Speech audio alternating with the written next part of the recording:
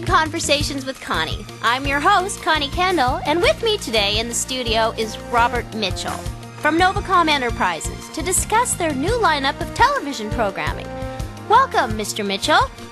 Uh, thank you. Uh, you can call me Mitch. So, Mr. Mitchell, tell me about how viewers have responded to the new shows that Novacom is putting out this season. Well, Miss Kendall, our viewers have really enjoyed them so far. And we actually have more surprises coming out later this season. Oh, I'm sure you do. Yeah, and some real fun stuff that includes audience participation. Anything you care to share, Mr. Mitchell? Sorry, I can't say yet, but uh, we'll be announcing. well, you certainly have a lot of secrets, don't you?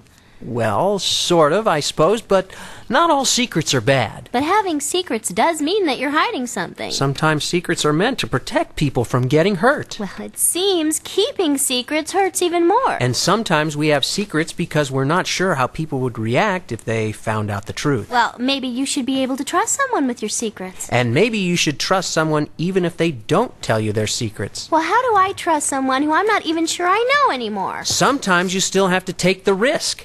Believe that that person's heart is good regardless of what seems to be the evidence around them. Oh, oh, yeah. So then this person can just stomp all over your heart. I'm not trying to stomp on your heart. I just need some time. How much time? I am tired of being in the dark about everything. You have to believe me that it will all make sense. Why? Give me one good reason why I should because I think you. I'm falling in love with you, Connie. Oh. Well, it looks like we're out of time for today.